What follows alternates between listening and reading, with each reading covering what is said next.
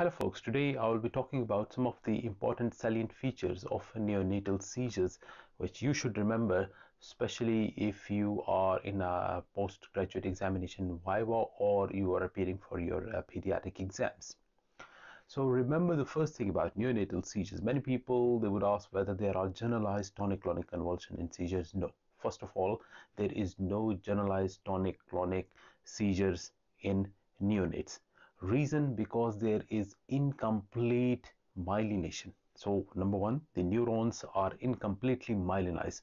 So the abnormal impulses cannot like travel globally over the cerebral hemispheres to cause generalized tonic-clonic convulsions. So the reason number one being that there is incomplete myelinization and incomplete arborization. So these because of these two reasons the seizures in neonates are not generalized tonic-clonic so the seizures in neonates, majority of them are subtle natures, uh, subtle seizures like for example smacking lip movements, uh, cyclical movements, swimming like movements.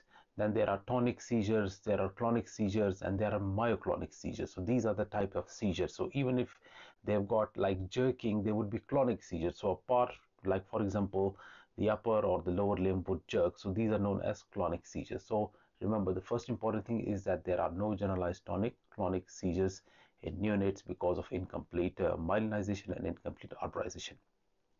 So the, the, the, the, most common seizures in neonate are subtle seizures. So they can have abnormal eye movements like repeated uh, wrinkling of the eyes, okay, blinking of the eyes.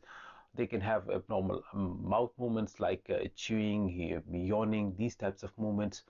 Or sometimes they can have brief periods of apnea as well. Remember, apnea is one of the manifestations of seizures in neonates. So apnea can have a variety of reasons. Apnea can be because of respiratory reasons.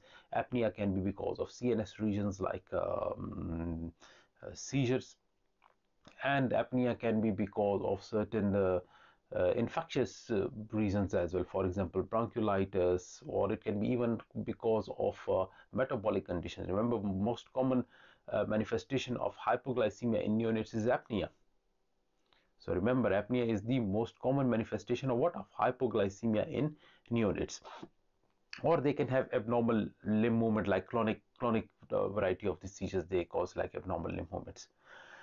Another important thing is to differentiate these seizures from jitteriness. Now jitteriness can be stopped. So if jitteriness seems like a very fine, rapid, jerky movements of the limbs which start suddenly, but if you try to hold the limb, they these these type of uh, shakiness it dies down while remember in seizures it would never happen. So if it can be suppressed by physical stimulus like holding or stretching the limb then it is jitteriness. And remember jitteriness can be again caused because of hypoglycemia hypocalcemia maternal withdrawal and there are some other reasons as well.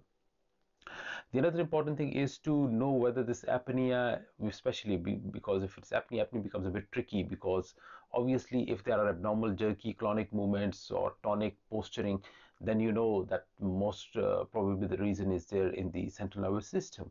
But if the child is having periods of apnea, then it becomes a bit difficult because most of the times when there is apneic spells, you'll be probably thinking of uh, either metabolic reasons or probably uh, respiratory reasons. So uh, remember, if apnea is a manifestation of uh, seizures, if it happens, so if you attach the monitors, you will see that with those apneic spells, there would be tachycardia, the heart rate would increase.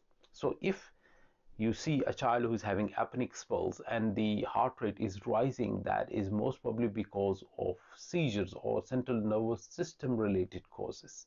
But if a child is having spells of bradycardia associated with the uh, apnea, so as he becomes apneic, the heart rate falls, then it is most probably because of respiratory reasons. So remember, apnea with tachycardia, mostly central nervous system uh, causes, especially seizures. Apnea with bradycardia, most probably respiratory reason. Again, there could be variety of respiratory reasons. It could be bronchiolitis, it could be pertussis, or whatever. Like you know, the list is a big one. Just you should remember one or two common reasons, which are you know can be either seasonal or depending on the history, uh, certain things are more common.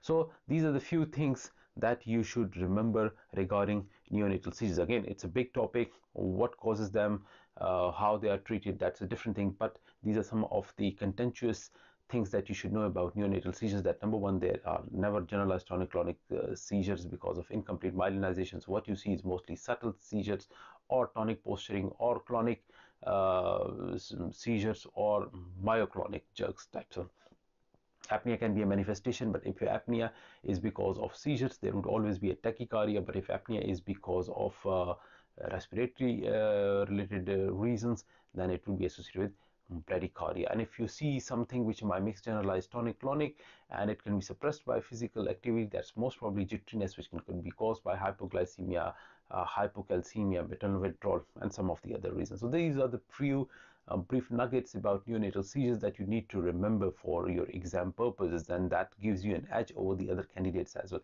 So hope you have liked this video. Please give me a thumbs up if you have liked it and if you have learned something new. Have a very good day. Take care and bye bye